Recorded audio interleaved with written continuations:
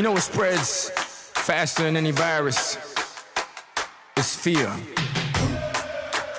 Now when it comes to fear, you can either forget everything and run. I said I. Or you can face everything and rise. I believe. And let me tell you what I believe. I believe that. I believe we're gonna face everything. I believe.